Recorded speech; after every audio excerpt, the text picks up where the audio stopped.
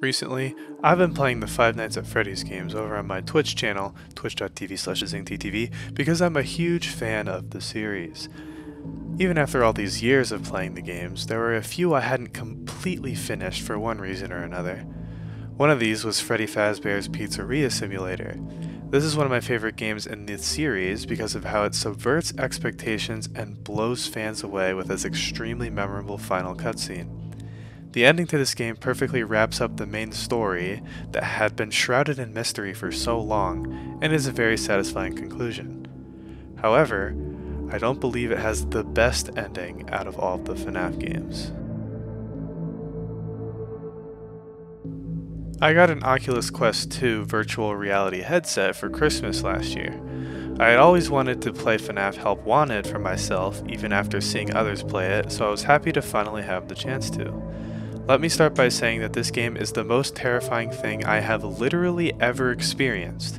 It is perfectly crafted to have you relive the nightmare situations of the previous games in the most extreme way possible.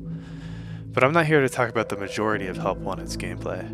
I want to tell you why I think this game has the best ending out of any game in the entire FNAF series. The way you quote unquote complete this game and get to the end credits actually takes quite a bit of time. You have to beat every level in the game on normal difficulty and then beat them all again on the game's hard mode. This unlocks the final level aptly named Pizza Party. The other levels function very differently to this one. Usually you're just trying to survive remakes of previous entries in the series, or doing shorter and more simple mini-games like repairing the four main animatronics, or even solving puzzles in the vents.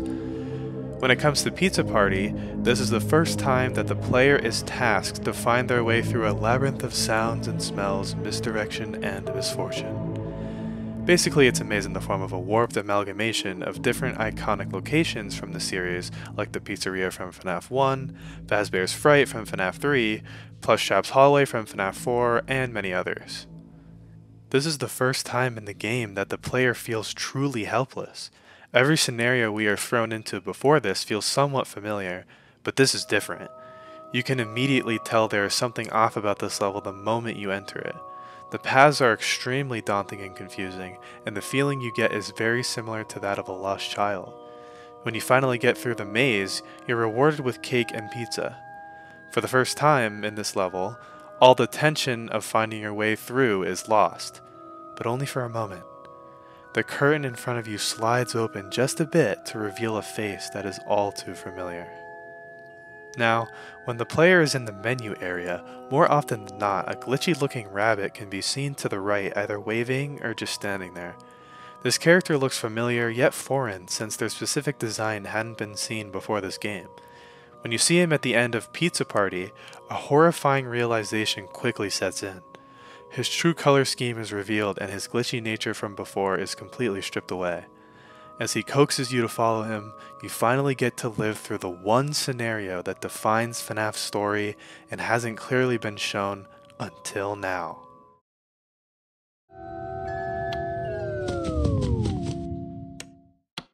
Ladies and gentlemen, boys and girls, Fazbear Entertainment would like you to put your hands together for the one, the only, the only, only, only, only, only, only, only, only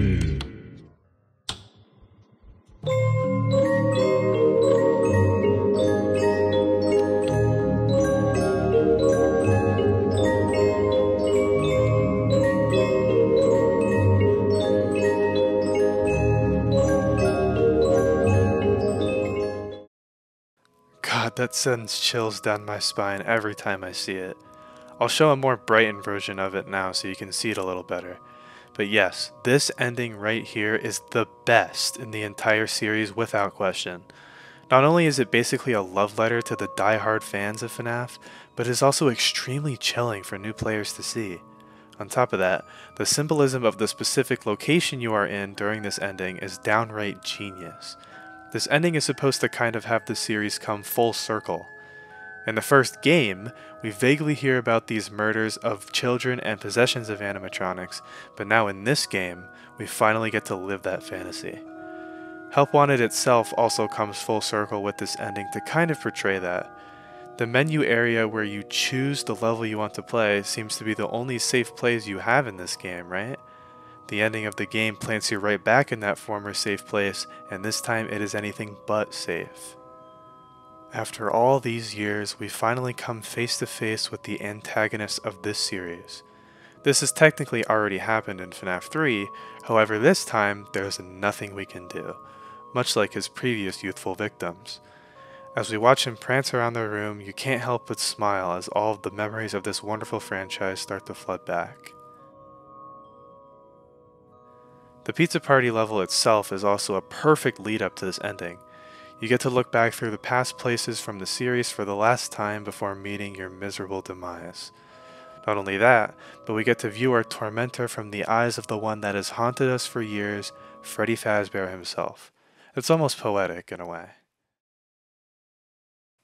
Compared to other endings in this franchise, Help Wanted seems to be forgotten quite often, which is honestly a shame. Obviously, the ending to Pizzeria Simulator is a perfect way to wrap up the main lore for the games, but I don't think everybody can get something out of it. Most people who know about FNAF aren't incredibly invested in its complex lore, so when they see that ending, it won't mean as much for them. Most of the other games don't even really have very interesting end cutscenes anyway. Most of the time, it's a singular screen telling you that you beat the game or a minigame with no dialogue that can have many interpretations. Getting scooped at the end of Sister Location is the only other ending that even comes close, and even that is there more or less for the jump scare factor without nearly as much significance. Ever since I first saw the ending for Help Wanted, it has stuck in my mind like a reoccurring nightmare. It's simple, effective, has a perfect build-up, and is perfect for any type of player to enjoy. Obviously, the other endings in this series are fantastic as well, but none of them are as strong in all areas like this one is.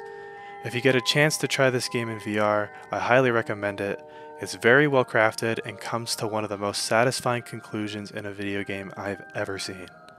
Thanks for watching.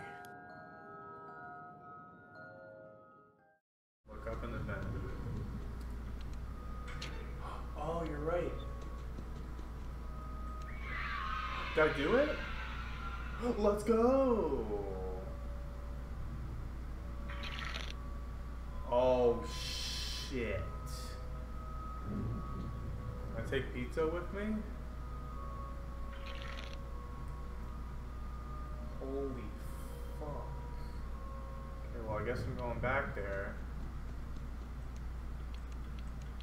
Ladies and gentlemen, boys and girls, What? Fazbear Entertainment Where's my flashlight? Put your hands together for the one, the only, the only, only, only. What?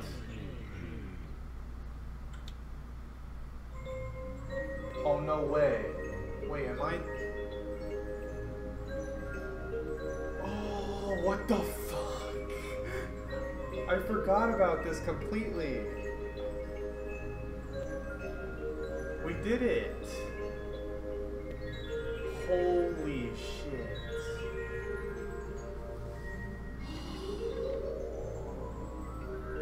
That was absolutely terrifying.